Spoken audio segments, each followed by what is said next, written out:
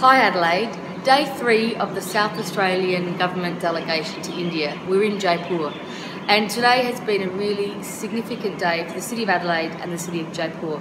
Both cities are Cisco lighthouse cities and uh, it's the first time that uh, two of those cities with Cisco have agreed to collaborate on a smart city platform.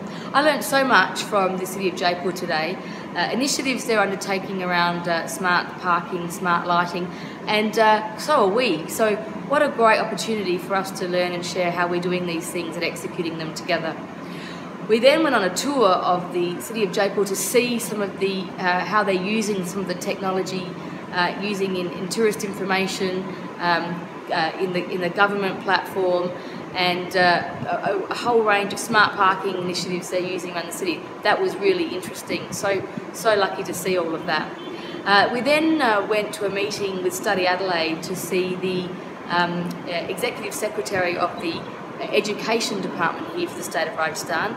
And we talked about some of the challenges that they're facing, including how they communicate and get information through to 70,000 public schools. I actually think our private sector and our startup um, entrepreneurial businesses uh, perhaps have some ideas to, to assist them. So I look forward to making those connections. Uh, tonight I'm looking forward to meeting the Mayor of Jaipur.